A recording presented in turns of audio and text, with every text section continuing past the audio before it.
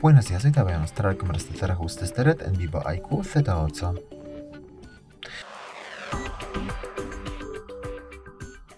Para eso abrimos la aplicación Ajustes y luego en Ajustes abrimos la pestaña Sistema, es la penúltima en este caso de la lista. Luego seleccionamos de aquí opciones de restablecimiento, esta opción aquí, y seleccionamos de aquí la primera opción, restablecer Wi-Fi, red móvil y Bluetooth. Así vamos a borrar todos los ajustes, no se puede restablecerlos por separado.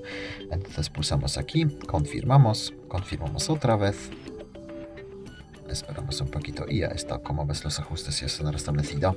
Muchas gracias por ver el vídeo, te comentario abajo, suscríbete al canal. Hasta luego.